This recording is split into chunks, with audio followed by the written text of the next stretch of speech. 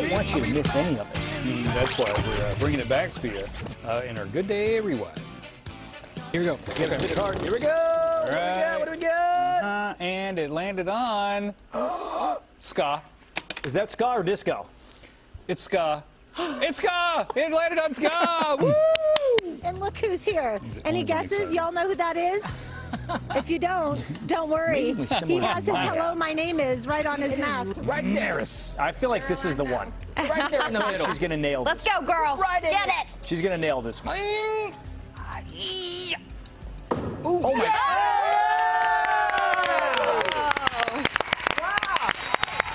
I don't think you need to shake it like that. I think you, you need smaller cereals. I am going to be taking a photo of Yes. Scott wrapped up in the spider Yes, web. yes, please, And I'll be sending it to you. Okay. So you can see what's happening Yeah, here. real spider web, fake spider web.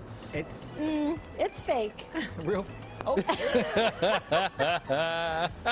he's caught right in it. So, yeah. What generation is Forrest Gump? What generation is Forrest Gump? Hmm, I don't know. I, I guess he'd be a baby boomer. Nope. He's Gen A.